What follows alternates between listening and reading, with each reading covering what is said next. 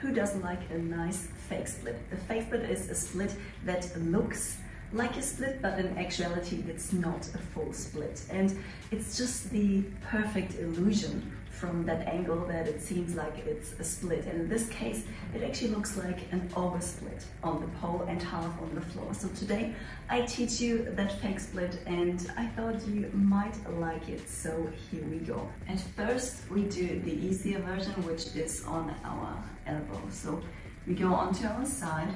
If you're more comfortable with the splits on the right side, then we go onto our left elbow. So go onto the left elbow, place the right hand on the pole on head height, and now we bring the right leg over to the pole and then the hook the heel on the pole. And from here, we just straighten the bottom leg out. And now it already looks like a fake split. And I can even bring my leg back a bit more. And even though it does look like a split or an oversplit, it's not. This version is a little bit harder, but it's still not super hard. And you don't even need to be able to do the splits, as I said.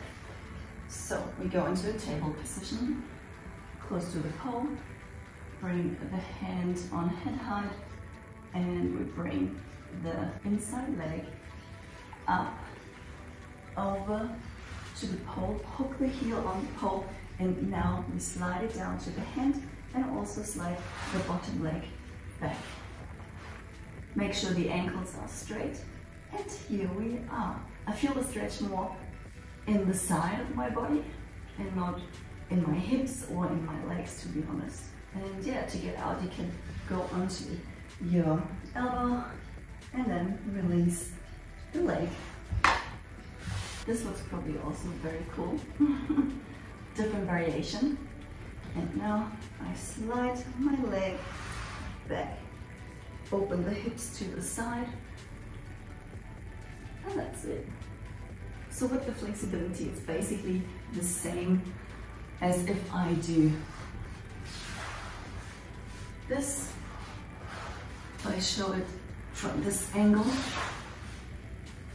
you see it's not a split. And that's exactly what I do on the pole, just with this leg up.